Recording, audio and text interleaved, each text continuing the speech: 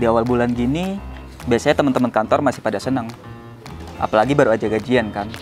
Tapi masih ada aja yang kelihatan bingung dan nggak tenang gitu. Yuk. Oke. Han, Apaan? gue boleh pinjam duit lo nggak? Hah?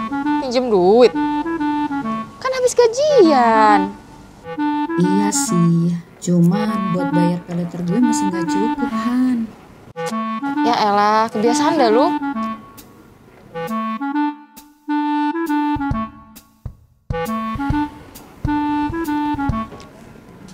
Rada kesel ya ngadepin temen yang suka ngutang cuma buat bayar tagihan paylater mereka aja. Padahal kita nggak dapat apa-apa dari yang mereka beli. Hal yang kayak gini nih bikin utang jadi jelek di mata orang-orang. Terus dikaitin lah dengan utang negara yang katanya seabrek itu. Wah negara utang, wah negara bisa nggak sih bayarnya? Padahal kan negara kalau berutang beda tujuannya, nggak cuma buat bayar letter aja.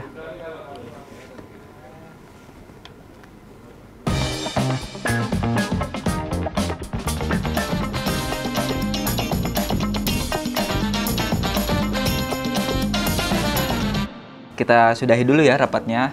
Lanjut besok. Ya.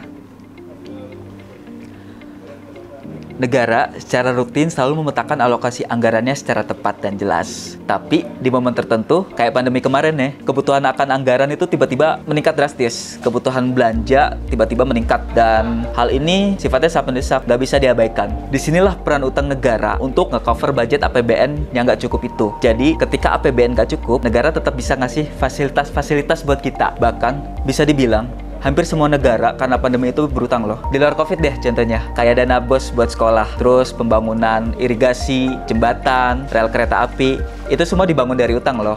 Bayangin kalau misalkan negara nggak utang, gimana caranya kita dapat fasilitas-fasilitas penting kayak tadi? Tahu jembatan Yotova di Papua? Itu dibangun dengan utang loh, tepatnya suku negara. Terus ada juga MRT, itu dibangun melalui pinjaman dengan pemerintah Jepang. Gedung-gedung kuliah di UIN itu pakai utang juga.